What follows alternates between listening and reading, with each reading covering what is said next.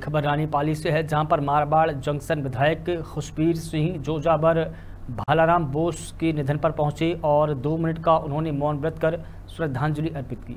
वहीं उनके परिवारजनों ने दुख की इस घड़ी में सांत्वना देते हुए दुख प्रकट किया।